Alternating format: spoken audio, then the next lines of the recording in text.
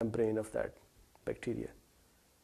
So defensins can actually act to break the microorganism which is trying to enter our body at the surface level.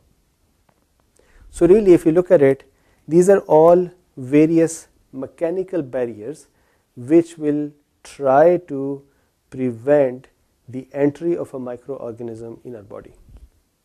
So what does the microorganism want at the end of the day? It wants to be able to breach through our skin or the mucous membranes, enter our body tissue and really eat it and be happy in there or circulate in the tissue and do all kind of stuff.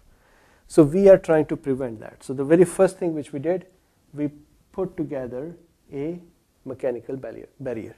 So that is like a fort in the old times when you have Remember, we have forts, and these forts have those strong walls made up of bricks and multiple layers and thick layers and so on. And so it is difficult for the invaders to enter through that fort. So our skin layers are an example of those forts. The only fun thing is that within the skin layer, these are not just the surfaces, there are chemical molecules sitting there which are actively causing holes in the bacteria which are coming in or we'll see that we would have immunoglobulin sitting here. So if I make it with the black marker, immunoglobulin sitting here which we'll talk more as we continue with the immunology. These are also molecules which can then hang these sad viruses and bacteria they can keep them away from us. So imagine we have a little stick coming out from the surface and when the bacteria or the invader is attacking us, we hold it and just keep it over there. So that is another example of a chemical substance sitting on the surface trying to keep the bacteria and viruses away from us. So these are some of the um, mechanical barrier. Another important thing which we should keep in mind, we are actually inhabited by many of the friendly viruses and bacteria. These are called nor normal flora. So we have a lot of normal flora viruses, bacteria sitting in our body. For example, they are sitting in our throat, they are sitting in the vagina, they are sitting in the uh, pulmonary surfaces. And what are they doing? They are occupying this surface.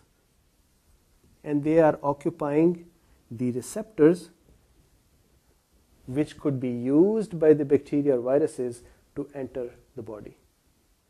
So they are inhabiting, they are they're covering our surfaces. And that is why sometimes when a doctor uses broad spectrum antibiotics, he wipes out, he or she wipes out those friendly bacterias and when that area is clean, the opportunistic bacteria or the harmful bacteria, they get an opportunity to quickly invade that area and start entering the body. Another way our body is presenting a mechanical barrier is by, provide, by providing acidic environment.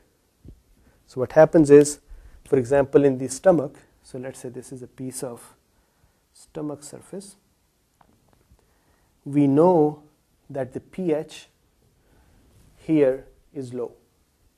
So low pH means acidity.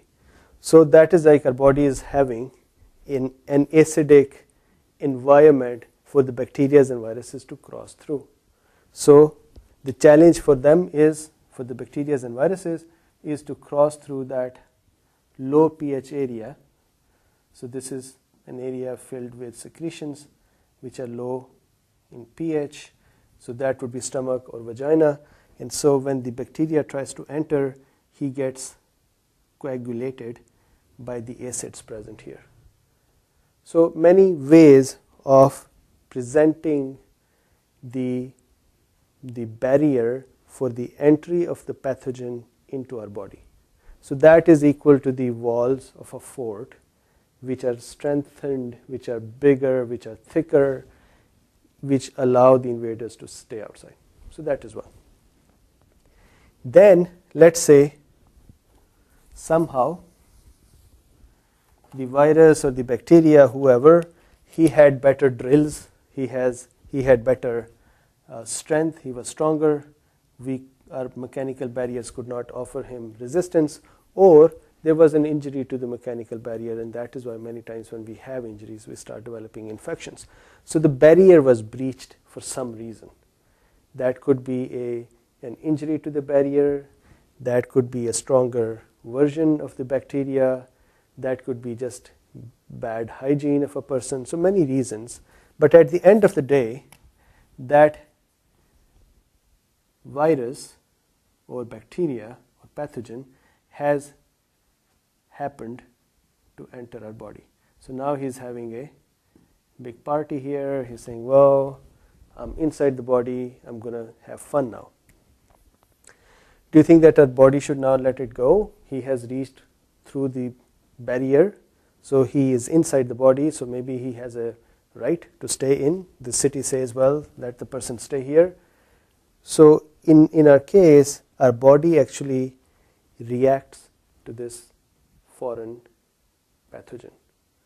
So, how do we react to this? Again, we would talk more about individual um, components of our reaction, of, of our immune system.